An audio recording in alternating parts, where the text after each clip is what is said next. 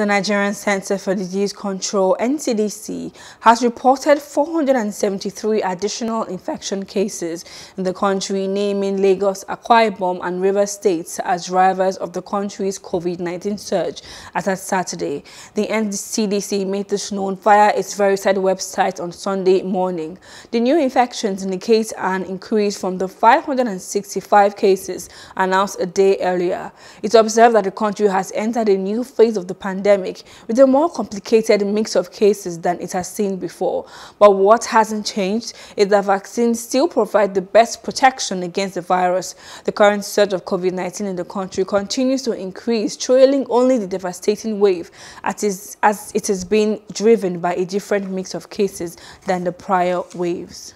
Hello. Hope you enjoyed the news. Please do subscribe to our YouTube channel and don't forget to hit the notification button so you get notified about fresh news updates.